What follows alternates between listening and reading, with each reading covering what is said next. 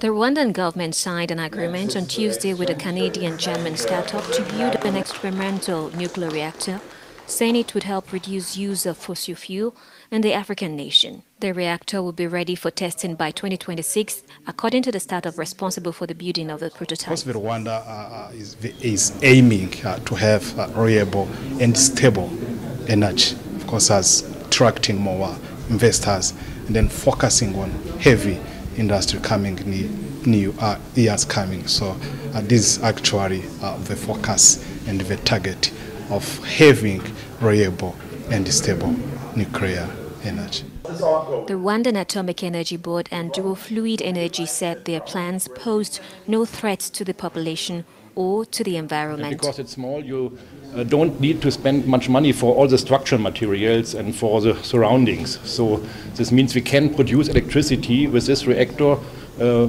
uh, for a fraction of the price of today's nuclear reactors, which are already cheaper than many other energy sources. South Africa is the only African country to have a civil nuclear program with two reactors in service for more than 30 years.